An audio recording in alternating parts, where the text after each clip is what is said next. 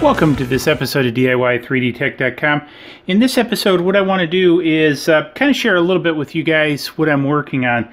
So, one of the things you remember the USB gauge that I did the reviews on a while ago with the uh, uh, external trigger?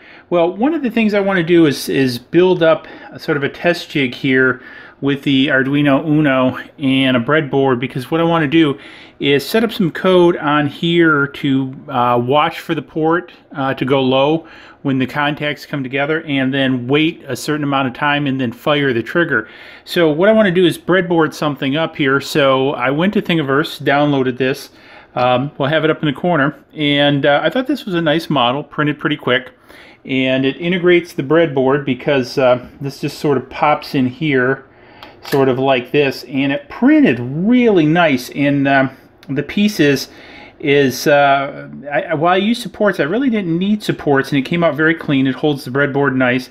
It's very compact and then what happens is I like it because instead of having the pins which usually break this one has where you can use like a number four screw and uh, we can do this if we get the right size um, yeah, that's the right size. And then we just kind of put this in here. And then we kind of just tighten this down. One of the things you want your breadboarding project to look good, so uh, you I like using screws for this. And you just screw this down like this.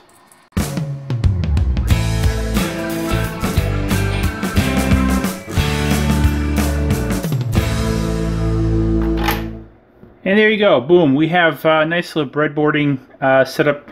Uh, so we can go ahead and, and do that. Now I'm not going to do the breadboarding in this one. This will be a separate video. I just kind of wanted to share this uh, rather simple build and it's um, it's a nice one too because one of the things I like it when you get you know nice prints like this that just do what they're supposed to do. They come out nice, they fit nice, they print nice, and this is one of them. So um, very much like this print. So anyways, hopefully uh, you found this interesting. Just short one, one to share this with you.